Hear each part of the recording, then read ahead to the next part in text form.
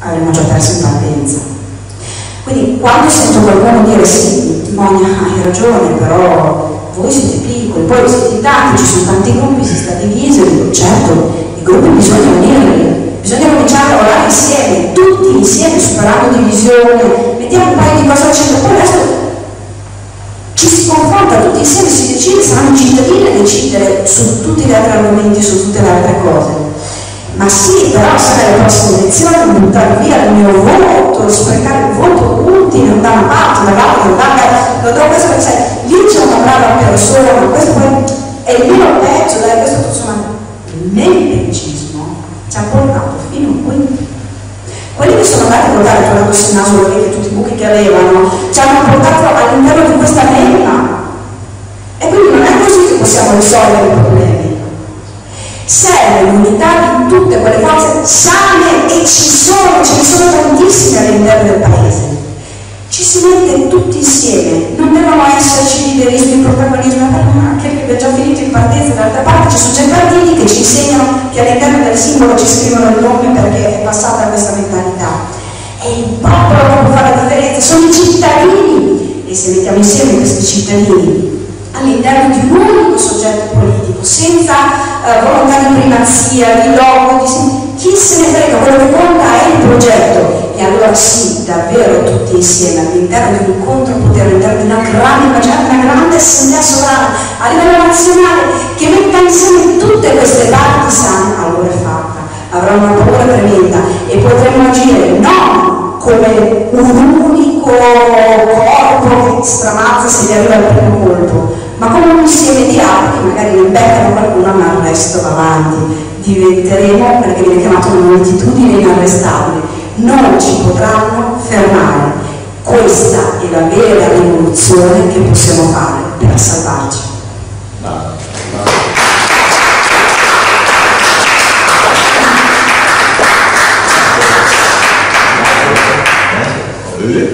Molto bene, allora ci sentiamo. Grazie tante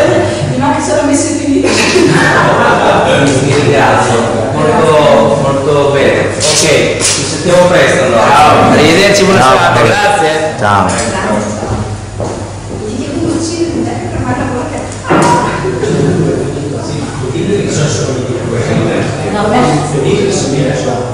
Guarda che non hai finito, cioè, non hai finito. No, volevo solo dire, ciao, io sono Greco e praticamente sono... Devo provare Sì, il microfono? sì, perché se no non- Sì, perché sennò mi distrae. Allora, innanzitutto eh, devo dire che mi fa molto piacere sentire una signora, eh, eh, perché eh, eh, io, io ho due cosette da dire, no? Allora, che ha fatto una così bella analisi di questa situazione, che ha saputo anche intrattenere queste, ahimè, poche persone. Eh, arrivata in ritardo, quindi mi sono perso un pezzo sicuramente della tua bellissima esposizione, eccetera. Ehm, e comunque eh, volevo appunto dirti che hai detto delle cose assolutamente eh, belle, interessanti e saggi e che io condivido direi al eh, 120%. Eh, allora, eh, mentre tu parlavi eh, a me venivano in mente delle domande e la prima cosa è ma perché è così difficile mettersi d'accordo tra le persone che hanno comunque lo stesso problema? Cioè perché la gente ha questa voglia di farsi del male? Perché ogni volta invece di centrare il problema si va sempre dall'altra parte? Cioè è un problema che siamo degli idioti e, e abbiamo un DNA eh,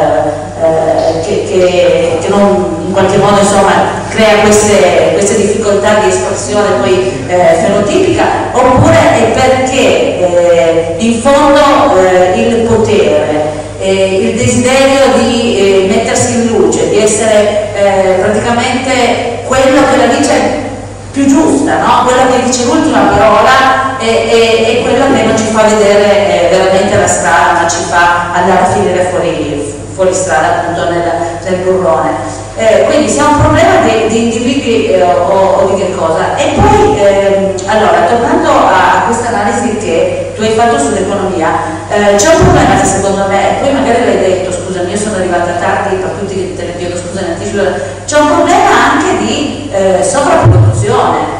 Cioè, questo, questi paesi occidentali sono anche in crisi solo perché c'è un problema di soldi che non si capisce bene come cazzo girano, scusatemi intanto rispondo a qualcuno, ma, eh, ma eh, c'è un problema di sovrapproduzione. Allora, io eh, l'altro giorno mia amica mi ha detto guarda c'è, un, una svendita favolosa, sono andata, a un certo punto mi sono vergognata, perché mi sono comprata tre pantaloni, due maglie, era una svendita veramente favolosa, dove cazzo me li metto? C'è solo un culo, cioè c'è proprio il problema di eh, comunque regolarsi no? rispetto a quella che è una sovrapproduzione. Adesso non riusciamo più a produrre a vendere macchine e quindi non ne produciamo. A casa mia siamo in quattro, cioè tre macchine alla moto, cioè non so più a metterle. Cioè abbiamo questo problema che, che, che il modello di sviluppo occidentale è completamente saltato. Eh, una è una questione di questo tipo, l'altro problema grosso che io non ho sentito da te dire è il problema della criminalità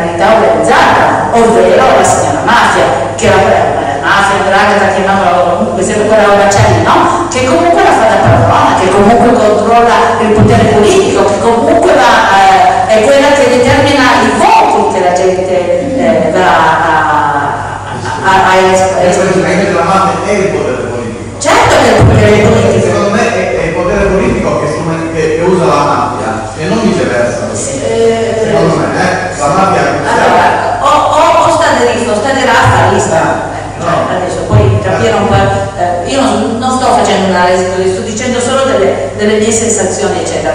E l'altro problema, appunto, come ti dicevo, molto lieta che una signora abbia fatto una così brillante eh, esposizione, ma eh, le donne sono sempre in quell'altro angolo lì, no? In cui comunque non contano mai, e in cui comunque dopo che sono fatti un culo tutta la vita per tirare su la famiglia, per, per andare a lavorare, per fare cose per benino, per, per, per, cercare di mantenere insieme un sistema sociale che è completamente alla deriva, vengono poi, eh, vabbè ma adesso tu sei troppo vecchia, non, oppure vabbè ma tu sei in fondo, non, ecco, un po' questi problemi qua che ci sono. Eh, sono d'accordo con te, assolutamente. Quello che dobbiamo riuscire a capire è che se non facciamo un'azione di metterci insieme o mettersi insieme ragionata con un obiettivo che è quello di riuscire a uh, cambiare questo stato sociale di degenerazione che non so se è solo degenerazione morale o, per sempre addornosata ma veramente perché a questo punto cioè, sono tutti fuori delle LOM ma sono tutti fuori delle LOM scusa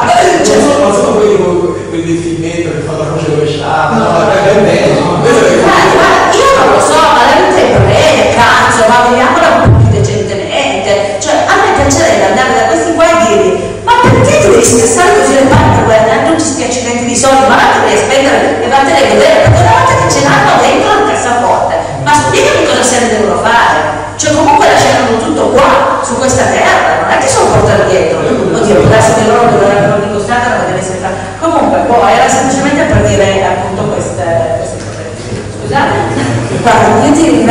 perché mi permetti di, di, di parlare di un punto che generalmente nelle presentazioni del libro non tratto mai e che invece è il trade union rispetto a quello che facevi osservare, cioè sul, sia rispetto ai problemi di sovrapproduzione sia rispetto al fatto che, ma caspita, siamo autolesionisti, cioè ci facciamo del male da soli, da soli visto che prevale sempre la voglia di stare separati, di fare più uno, cioè se di voi ci si divide uno da una parte e uno dall'altra.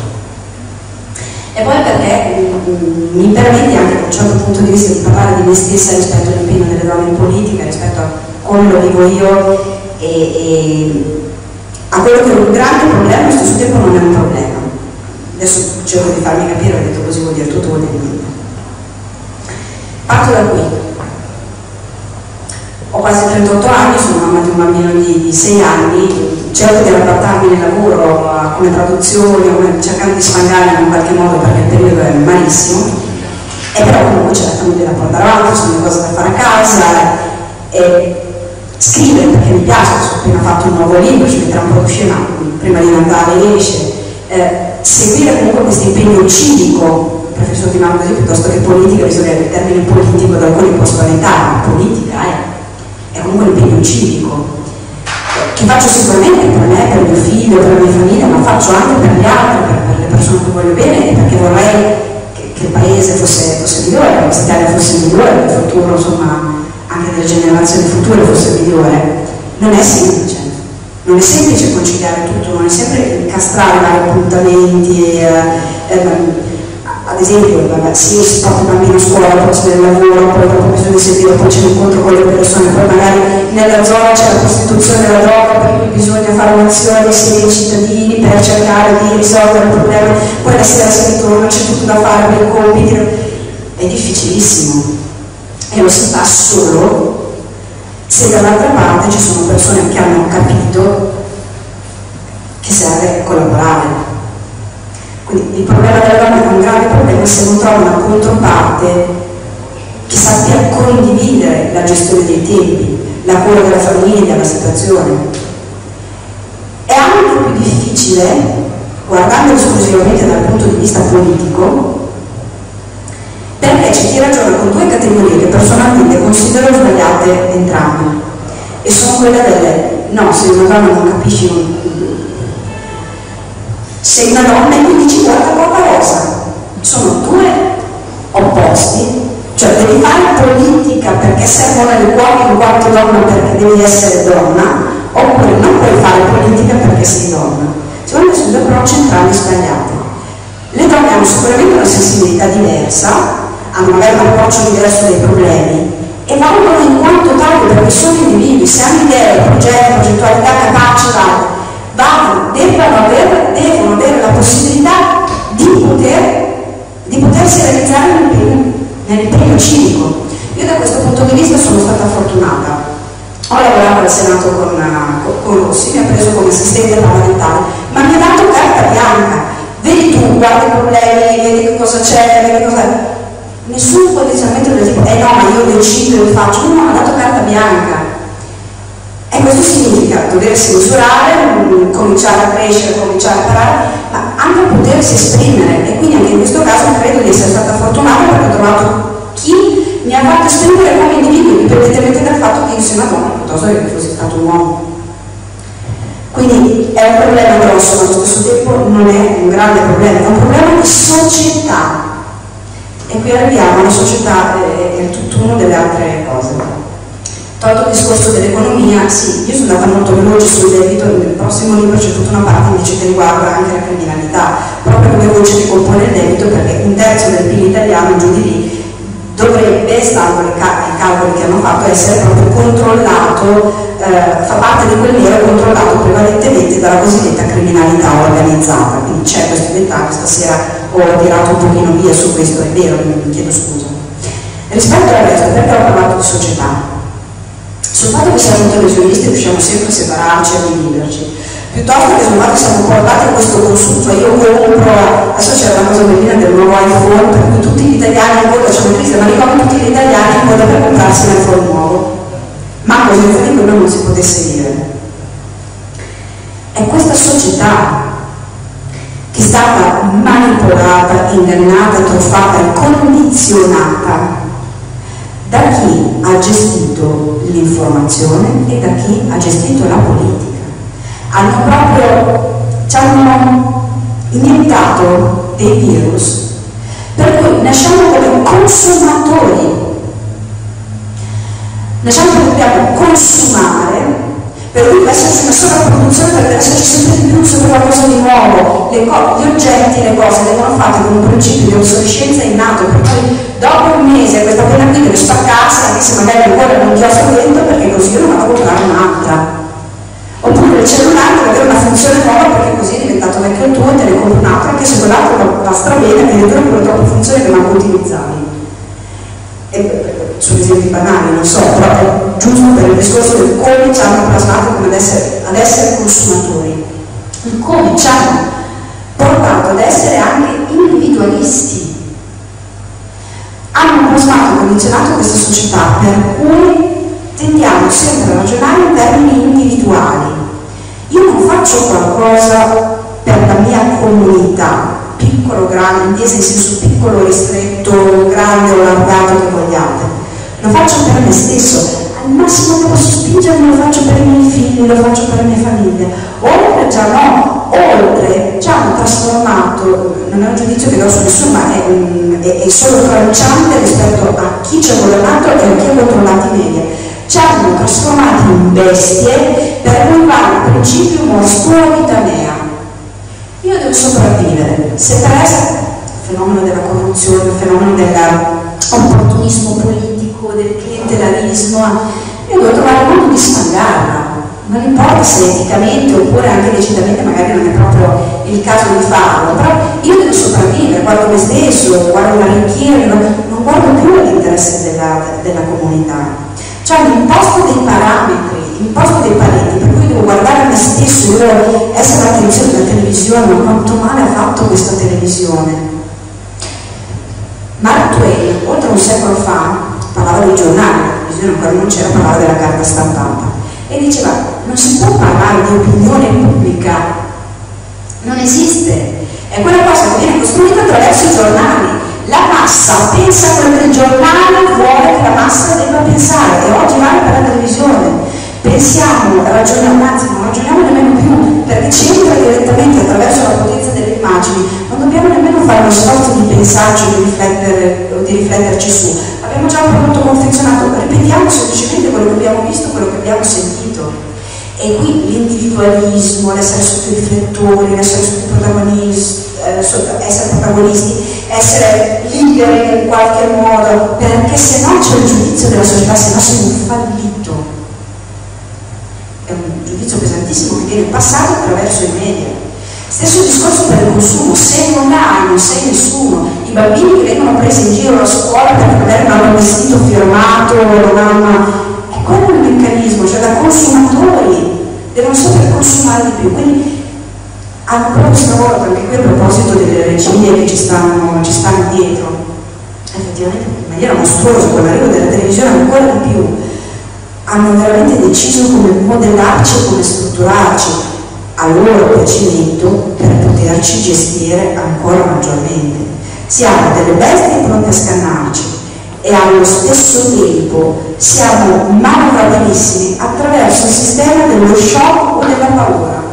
Appena abbiamo paura di qualcosa non capiamo più niente, calano tutte le difese, passa tutto, perché ci può essere il peggio. Dio cosa succede? Con la paura calano addosso qualunque tipo di cosa, diventiamo difese conquistabili, come ci hanno conquistato attraverso gli eserciti che l'Europa ha schierato per noi, anche quando sono eserciti falsi, artificiali e illeciti, come nel caso del debito e di tutti gli strumenti che abbiamo utilizzato. Ecco perché sapere può aiutare.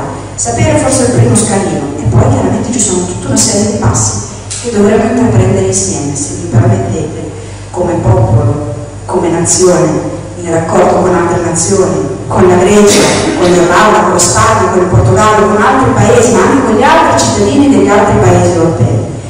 Ma mettendo al centro una volta tanto la nostra nazione, il nostro essere italiano, la nostra realtà e quello che deve essere fatto per il nostro paese, non più quello che va fatto per un partito o per una coalizione piuttosto che l'altro, non più assolutamente quello che va fatto perché ce lo chiede l'Europa.